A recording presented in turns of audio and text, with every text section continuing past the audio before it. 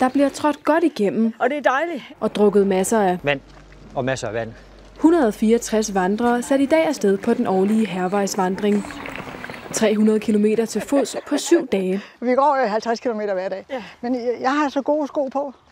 Jeg får hverken vabler eller noget. Selvom sveden pipler og skoene kan gnave, er vandreturen ren fornøjelse. Det er en dejlig form for ferie. Nej, ja. Vi har ikke lyst til at ligge og stege nede Stranden, på vi oplever en masse natur. Alt det skønne natur. Hver dag tilbage ligger vandrene 50 km. Dagens start gik i Slesvig, og om syv dage slutter de i Viborg. Vandreglade mennesker fra hele verden kommer for at gå turen. We are from Belgium and we are more than 10 times here. Danmark, Sverige og Norge. Så det, der, det er en bred, et bredt udsnit af, af Europas befolkning. Mexicana vil jeg gerne prøve en af. Mange af deltagerne har gået turen før. Det er måske nyhentet vand, så det er koldt. En enkelt har været med helt fra starten. Ens tanker flyver jo bagud og alt. Vi tænker kun på det, vi er her. Altså nogle år, hvor der har været VM i fodbold hernede, og det glemmer vi jo alt om. For eksempel, hvad der sker ude i verden.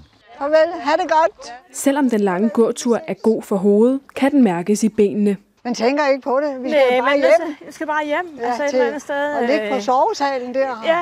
Og man får en ny herre hver nat.